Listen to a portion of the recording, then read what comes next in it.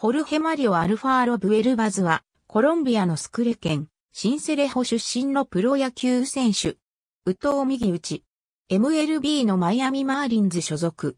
愛称はスペイン語で熊を意味するウェルオソ。2010年1月19日にテキサスレンジャーズと契約してプロ入り。契約後、参加のルーキー級、ドミニカンサマーリーグレンジャーズでプロデビュー。48試合に出場して打率。221、1本塁打、23打点、1盗塁を記録した。2011年は A- 級スポケンインディアンスでプレーし、45試合に出場して打率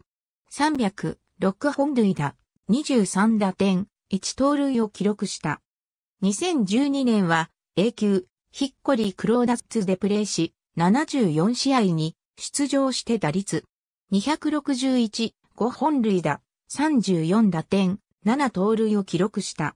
2013年は A 級ヒッコリーでプレーし、104試合に出場して打率。6月にはサウスアトランティックリーグのオールスターゲームに選出され、オールスターフューチャーズゲームにも選出されたが、怪我で出場を辞退した。8月31日に A 級マートルビーチペリカンズへ昇格し、3試合に出場した。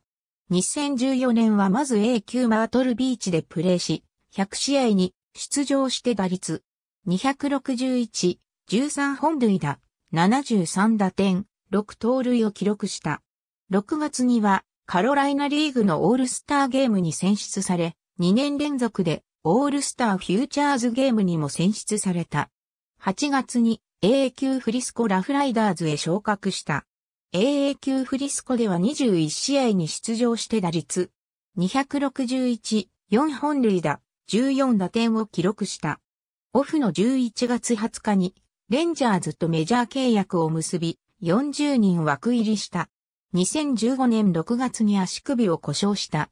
フィラデルフィアフィリーズ時代2015年7月31日にコール・ハメルズ、ジェイク・ディークマンとのトレードでマット・ハリソン、ニック・ウィリアムズ、ジェイク・トンプソン、ジェラット・アイコフ、アレク・アッシャーと共にフィラデルフィア・フィリーズへ移籍した。メジャーでの試合出場はなく、フィリーズのマイナーで3試合に出場した。移籍前との通算マイナー成績は52試合の出場で打率258、5本塁打、22打点、2盗塁、4失策、守備率988、盗塁阻止率29%という内容だった。2016年は開幕から A 級レディングファイティンフィルズでプレーし、97試合に出場して打率285、15本塁打、67打点、3盗塁を記録した。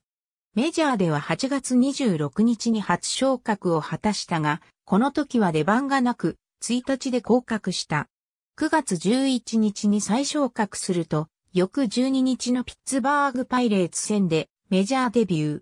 メジャーでは6試合の出場で2安打を放ち、打率125を記録。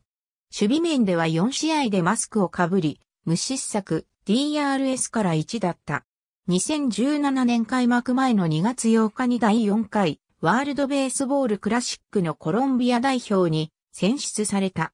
2019年2月8日に JT リアルミュートとのトレードで、シクスト・サンチェス、ウィル・スチュワート及びインターナショナルボーナスプールと共に、マイアミ・マーリンズへ移籍した。ありがとうございます。